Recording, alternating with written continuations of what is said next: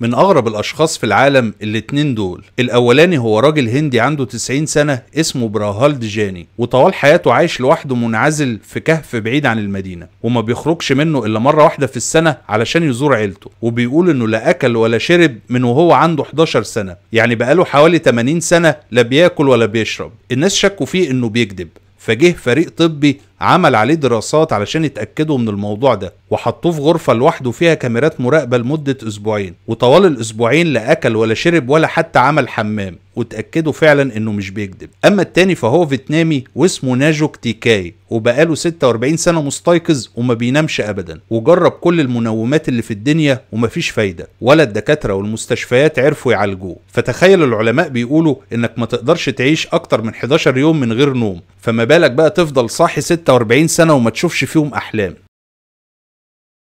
من أغرب قصص الموت في العالم واحد اسمه هنري زيجلاند. سنة 1833 قطع علاقته مع حبيبته فحبيبته جالها اكتئاب وانتحرت. فأخوها فضل يطارده علشان ينتقم منه لأنه السبب في موتها. فاستنى هنري قدام بيته وضربه بالنار وهو قاعد في حديقة البيت. فوقع هنري على الأرض وأخو البنت افتكر إنه مات وخد بطار أخته. وبعد كده أخو البنت ضرب نفسه بالنار وانتحر. لكن الرصاصة ما قتلتش هنري واتصاب بجرح سطحي واكتشف هنري إن الرصاصة استقرت في جذع شجرة داخل حديقة بيته وهنري عاش لسنين طويلة بعد الحادثة دي وفضل يتفاخر قدام الناس بحظه الخارق اللي أنقذه من الموت. وفي يوم قرر يقطع الشجرة دي اللي استقرت فيها الرصاصة القديمة وبسبب إنه مستعجل وكسلان فجر الشجرة بالديناميت بدل ما يقطعها بمنشار. ومن شدة الانفجار خرجت الرصاصة القديمة من جذع الشجرة واستقرت في دماغ هنري ومات في الحال.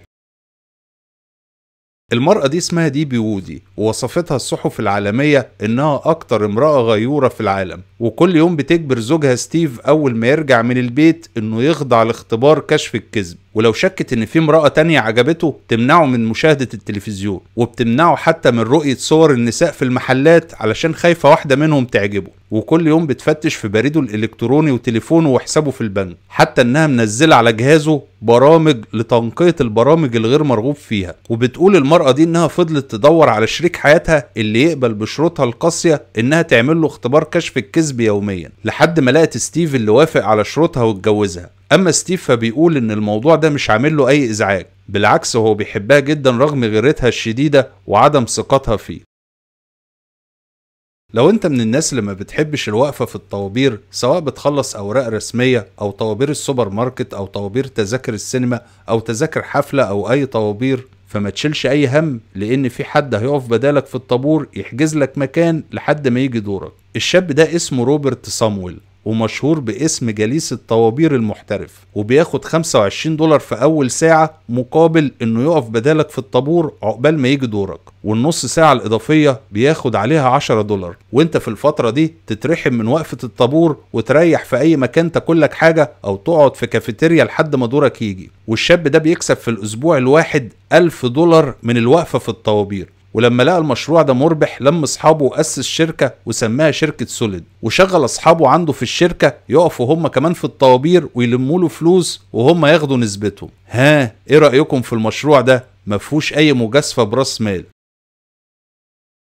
تلات أماكن على كوكب الأرض اوعى تفكر تروحهم وإلا هتموت. أولهم جزيرة الأفاعي في البرازيل. ما فيهاش ولا بني آدم عايش عليها. لأن كل سكان الجزيرة دي من الأفاعي السامة اللي لو لدغتك واحدة منهم هتموت في خلال ساعة. لأن التعابين دي بتكره أي حد غريب يدخل الجزيرة بتاعته. والمكان التاني جزيرة في الهند اسمها جزيرة سنتينيل وسكان الجزيرة دي من القبائل البدائية ومعزولين تماما عن العالم. ولو ركبت قارب وقربت من جزيرتهم هيرموك بالسهام اللي معاهم ومش هيسيبوك غير لما لما تموت وياكلوا جتتك والمكان التالت جزيرة ريمري في خليج البنغال واللي هرب فيها ألف جندي ياباني في الحرب العالمية ومات منهم 500 جندي لكن مش بسبب الحرب إنما بسبب تماسيح المياه المالحة اللي عايشة فيها واللي تعتبر من أكبر الزواحف في العالم. ووزن التمساح الواحد بيوصل لطن. والتماسيح دي اللي قتلت الجنود اليابانيين وحولتهم لأشلاء وكلتهم وإنت لو رحت الجزيرة دي فالتماسيح اللي فيها هتفرمك بأنيابها. من أغرب القرارات اللي خدتها الحكومة الصينية إنهم نزلوا قانون بمنع ومعاقبة أي شخص أقل من 18 سنة يلعب الألعاب الإلكترونية إلا في يوم الأجازة فقط. وحتى في يوم الأجازة مش مسموح له يلعب إلا ساعة واحدة بس من الساعة 8 ل 9 مساء. والسبب إنهم نزلوا القرار ده إن في كتير من الآباء والأمهات في الصين اشتكوا إن أولادهم بقوا مدمنين للألعاب الإلكترونية طول الوقت وكل ده على حساب دراستهم. ده غير إنها بتأثر على نظرهم بسبب إنهم لازقين عينيهم على طول في الشاشة. قول لي بقى يا بتاع بابجي لو القانون ده اتطبق في بلدك هتعمل إيه؟